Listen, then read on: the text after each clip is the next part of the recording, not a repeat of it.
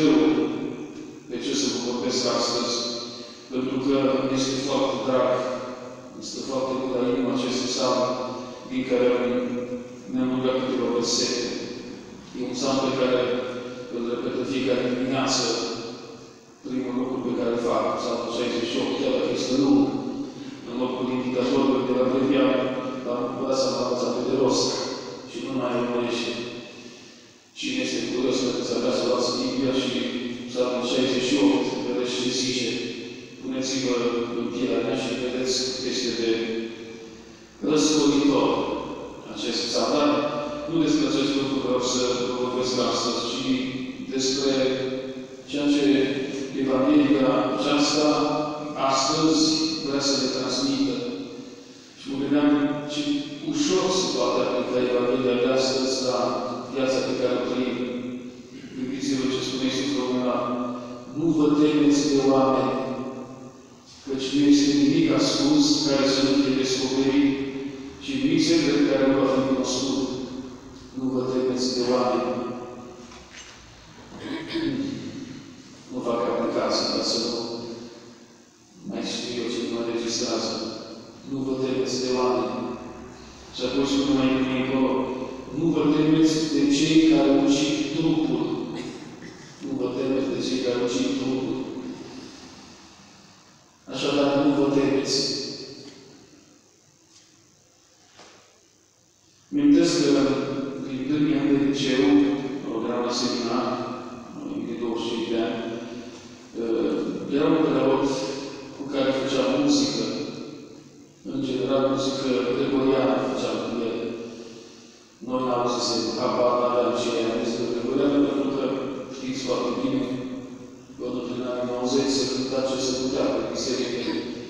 accesul la marele tezaur al cântecului cântării bisericești și ale bisericii noastre era restricționat și se mai lansau cântece aici și acolo, fără, care, fără să se spună că e vorba de cântecul gregorian.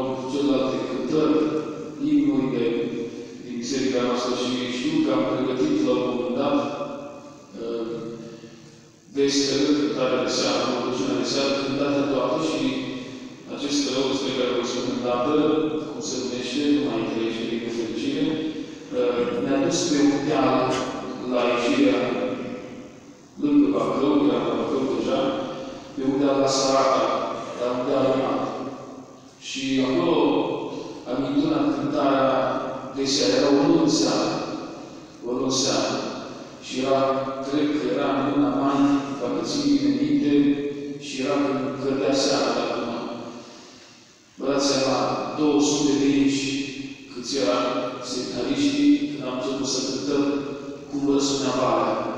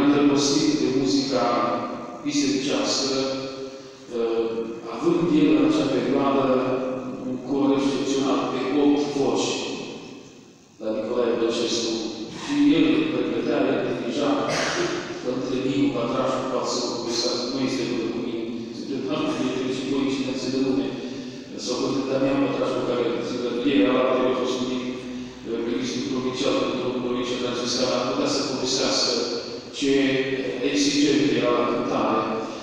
Dar am vorbit de acest om pentru a spune două lucruri. Tot el ne-a dat în acea perioadă accesul la niște texte, la niște cărți din limba maghiară, el făcut semnalul la Alba Iulie și cunoștea limba maghiară, mă rog, și pentru că era din Luizi, călugăra, apropo de Tenzorul, cu care tot am vorbit zilele astea, și, și așa a tradus mai multe cărți ale unui autor numit Tihomar Tot. Îmi vine minte două dintre ele. Unul, una dintre cărți se numea Tinerețea curată sau Tinerețe curată, în care autorul respectiv încerca să aducă argumente și logice și spirituale pentru cât este de benefică,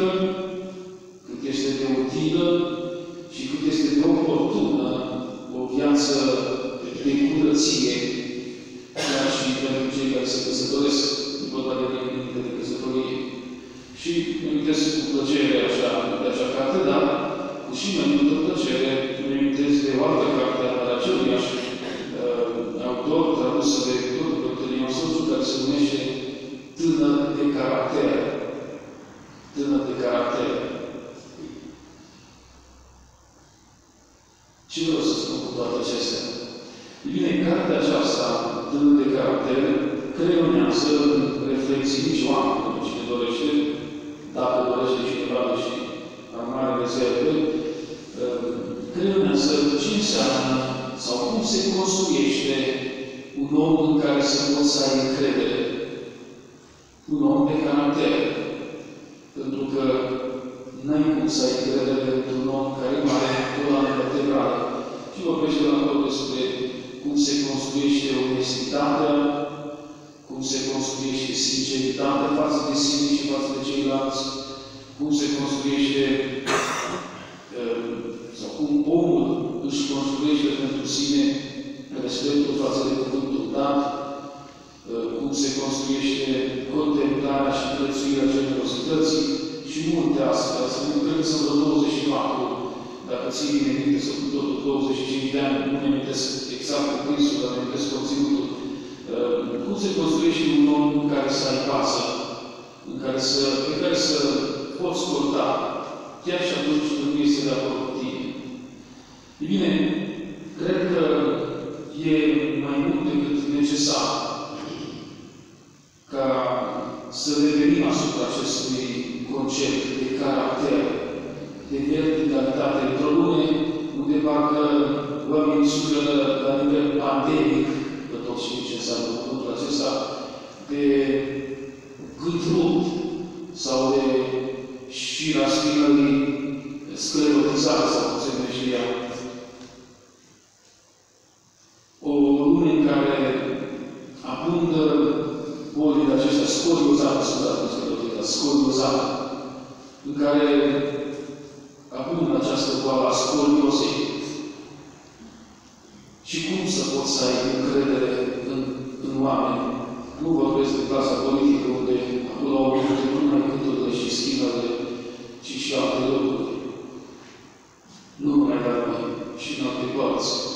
Cum să ai încredere? Cu tot respectul pentru munca politică, ce ar trebui să fie în folosul oamenilor, dar vedem ce a devenit o singură ocazie de îmbogățire, efort minim și o clară, directă, sigură care spre a deveni neoameni, a zice la Giminesc, să devină niște multe animale, dar nu intru în zona aceasta.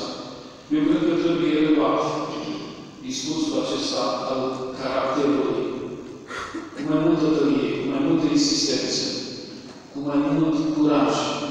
Dar știu, știu, e o chestiune pe care societatea nu avează.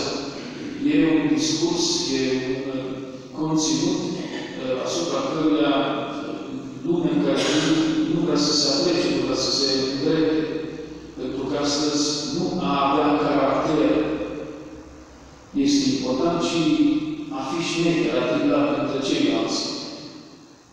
Nu a avea și la spinări coloană vertebrală dreaptă, contează asta la nivel sociologic, nu zic eu, ci a fi abil și a acumula și a călca urmă și peste cărare, numai ca să-ți atingi anumite scopuri. Părintele Răscăpit, care ținea foarte tare la acest discurs și la ordine de muzică, cum îi făcea câte două ori făcea pe muzică de săptămână, între altele sâmbătă, mai făcea câte o divagație în fiecare sărbătă să ne amintească de necesitatea caracterului. Părintele Ioan Sociu, cine merge la Bacău, trece de Bacău, vede cu partea dreaptă o biserică impunătoare, construită pe vremea comuniștilor și pentru care Părintele numai el și decât a suferit. Dar, întâmplându-mă, de exemplu, în începutul predicii, Părintele a făcut acel lucru convingându-i pe superiorii semnalului care știau că e islam, încă era islam, și știm că după acea întâmplare, nu, cu acel episod, iar a fost la răspundere chemat de Poliția Republicii Democrate România și luat la întrebări ce, de ce a făcut treaba aceea. Știți care a fost reacția lui?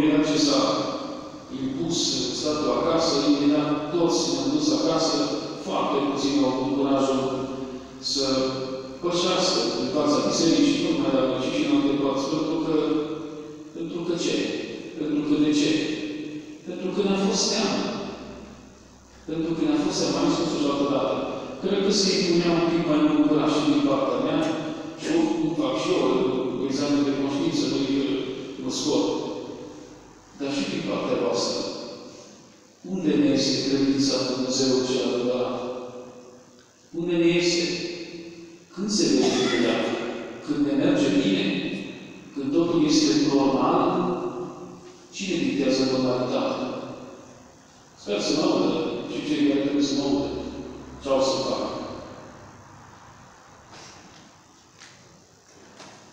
Nu vă fie teamă. Să nu ne fie teamă. Păi Ăsta este mesajul. Vrem să fim oameni care să avem bază unii ceilalți. Oameni de caracter. Oameni de caracter nu se lasă cadă fricii. Nu sunt copleșiți de teamă. Ce avem de pierdut? Ce avem de câștigat? Viața noastră tot stă Dumnezeu în dreptate. Ce pierdem dacă nu și? O viață ridică în teamă, pentru asta atunci ai sigur. Nu vă temeți de oameni, nu vă temeți de nimic. Oricine va da mărturie pentru mine înaintea oamenilor, voi da și eu mărturie pentru el înaintea Tatălui meu, cel din cer, spune Iisus în finalul Evangheliei. Uitați, dincolo de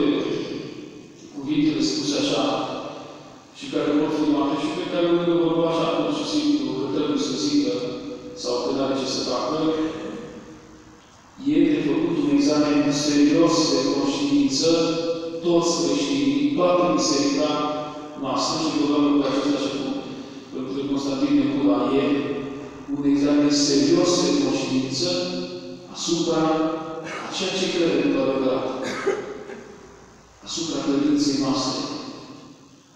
Credința nu plătea, credința este exact contrar lui